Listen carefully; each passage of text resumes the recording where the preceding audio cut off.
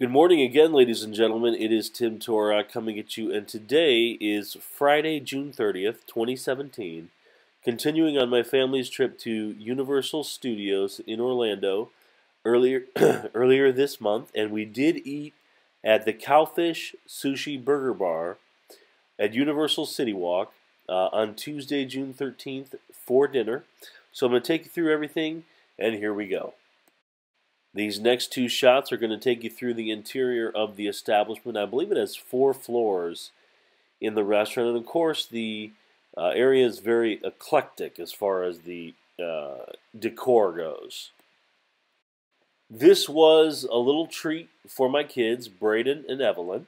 Uh, which, this is just a Rice Krispie treat with a little jelly fish.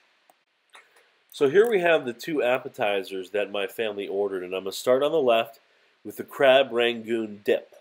It's creamy crab rangoon with Parmesan panko crust, wonton crisps, sweet chili sauce, and chives. Now, the crab, this crab rangoon dish dip uh, was good, but it did not blow me away. It it, it needed uh, something. I, I, I don't know exactly know maybe a little salt or, or seasoning, but it just wasn't there. Now, these fries, let's get to those.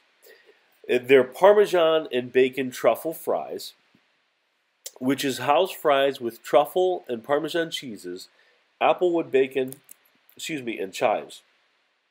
So the fries were, I hate to say it, mediocre. I did not want to finish them, but we did.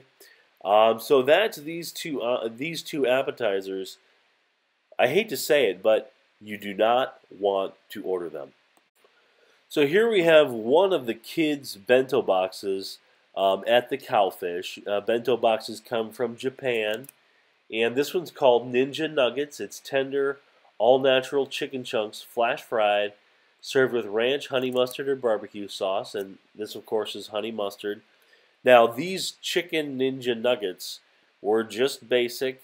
Uh, definitely nothing to write home about. Now, the edamame, which is soybeans, uh, steamed or boiled, uh, were good and salty, so it was a winner on those. There you have uh, some orange slices, which were good, but uh, this uh, the the nuggets were a miss. So I hate to say it, but this is not. This is another dish that you want to steer clear of. And so the meal was so mediocre that I told Stephanie uh, I didn't want to get anything more there.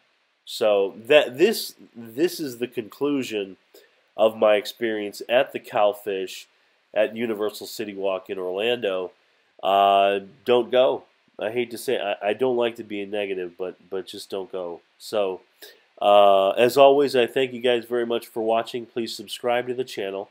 Leave any comments that you like. Let me know what you like, what you didn't like, and what you'd like to see. Share. And as always, I hope you guys have a great day today, which is Friday, June 30th, 2017. Thanks very much for watching and take care. Bye bye.